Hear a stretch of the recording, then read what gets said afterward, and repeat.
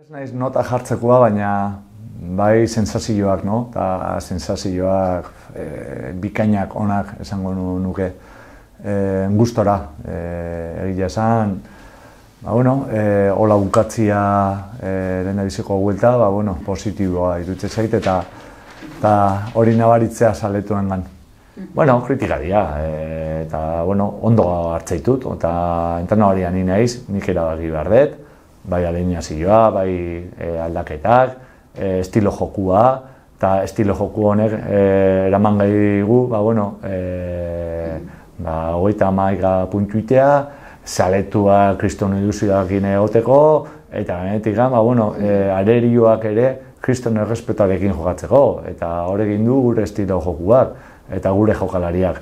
Orduan, alde horretatik, lasai nago, e, gustora, e, eta genetik ba, bueno, taldea ikusten dut hortasun handiarekin. Mm. Bueno, e, ze mateigu, e, denetik, e, lana, jagera, e, eta gero, bueno, dudi gabe, e, bere postuan jokada, jokatuta, ba, bueno, e, ler, lerro artean oso ondo moldatzea, azkenengo pasea, finalizazioa, denetik gan.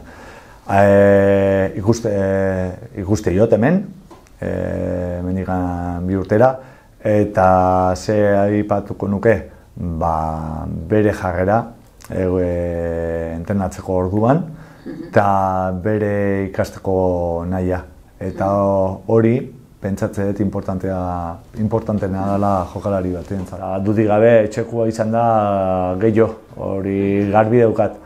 Ni desgaztea hemendikan kanpoa, lana jarrera ordua berdinak izango zian, baina desgaztea e, segurunik etzan izango mengoa bezala garbi daukat. Atzo atzo edu ginean zadarretin, boh, daneko minen aukan. E, gaur loiteko orduan, iskioa, gemeluak, ba, jotzen, e, atzo kriston lepoko minagin, e, bueno, dana izatea.